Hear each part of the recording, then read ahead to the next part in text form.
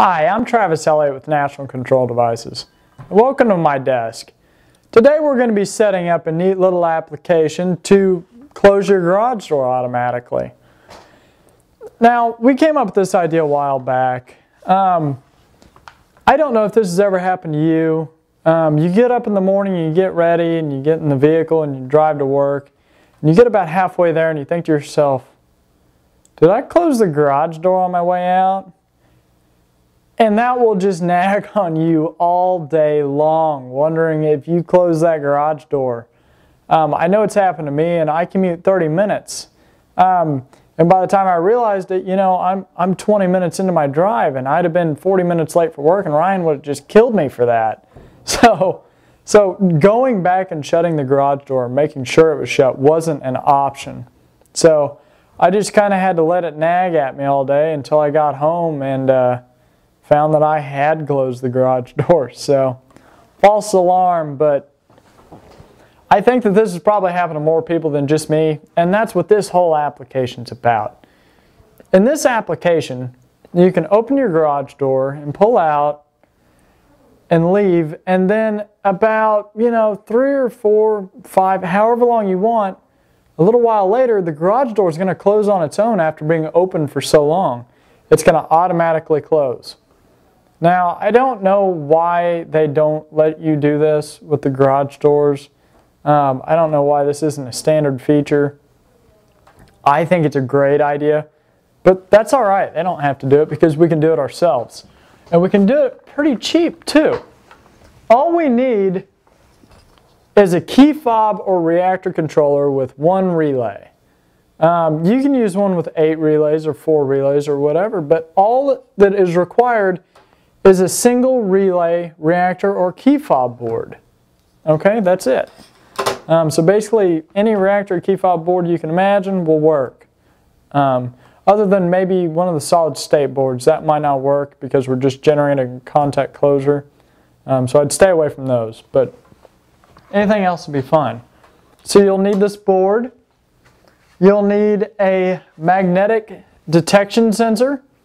This one's real nice. Um, what's going to happen is we're going to mount this to the jamb where the garage door comes down. And we're going to actually mount this piece on the garage door itself. So when the garage door goes up, this moves up with the garage door. And whenever it comes down, it comes down next to this. What happens with this sensor is whenever it detects a magnet, which is all that this is, it generates a contact closure out these two wires. Whenever that uh, magnet is taken away from it, no contact closure is detected on these wires. So we can use that contact closure to trigger our reactor controller. All right? So that's a magnetic sensor you need. And then you're just going to need a wire jumper. Um, for the single channel controllers, two channel controllers, and four relay controllers, I highly recommend this little, uh, this little jumper pack. Um, these things are real nice. They've got these little metal ends on them. And if you look at these spring-loaded connections, uh, you can't fit a very big wire in there. And these have really small ends on them, so they plug in there just absolutely perfect. So definitely get yourself a pack of these. They're really handy. You're going to use them a lot. I happen to have one here that's already open. Um, so let's go ahead and wire this up and let's talk about how it works. Now, I'm going to take this jumper here, this little jumper wire, and I'm going to put it between input 1 and input 2. Okay? Just jumper those two uh, inputs together basically. So what happens on one of them happens on the other one. And that's all there is to that. Now I'm going to take my magnetic sensor and I'm going to attach it to input 1 and ground.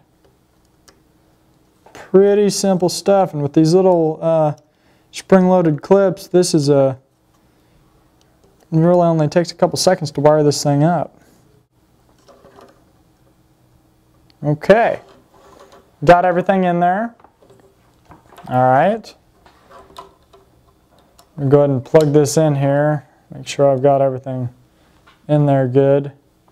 That looks like I do. Okay, now let's talk about how this works through the configuration uh, utility. Now, I already have the configuration on this page. All you need to do is click on it and download it. You can download it to your desktop, open up the configuration utility, and uh, go ahead and attach your controller to your computer, whether that be USB or wireless, depending on which type of controller you have. Get your configuration utility up and click uh, load configuration from file. And you'll just grab that configuration file that you downloaded from the site. It'll load it in there, and, uh, and that's basically it. Uh, for more information on that, um, check out part 5 of our Reactor Logic series where we explain the configuration utility. Now, once you've got that loaded in there, you can look through it and um, see exactly how we ever have everything configured. And that'll kind of help you understand how this works. Now, with input 1 and 2 jumpered together, we, can, we have two inputs at our disposal. Now, what's happening here is whenever this contact closure is broken, a timer starts immediately. And at the end of that timer, a second timer starts, which turns the relay on for a second.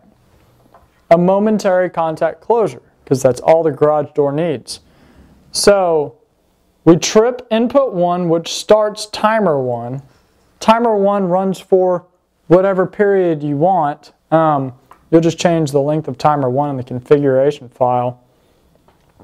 And it'll come on for however long you want. And then at the end of that, it'll start timer 2, which turns on the relay for a second to trigger the garage door opener. And, uh, you know, that's really all there is to it. Um, Really pretty, pretty simple stuff. And with all the uh, utilities you've got on this application page, schematics, pictures, um, the configuration file, if you want to change how long your garage door opens, uh, garage door stays open before it closes, just get on there and click on uh, timer one and change that duration to however long you want. You can make it five hours if you want. Um, so really, very simple. And if you're out in the garage one day and you're working, um, you can connect to the controller and disable that relay, or you can just unplug the controller. Doesn't really matter. Um, and this thing's really going to save you, it's going to save you a headache one of these days. I guarantee it. If you install this, one of these days it's going to save you from having a headache all day long. And you don't have to close your garage door at all when you leave in the morning if you don't want to. I don't anymore. What's the point? It's going to shut up for me. So um, that's basically it. Now we're going to run out to the house and actually show you this thing working.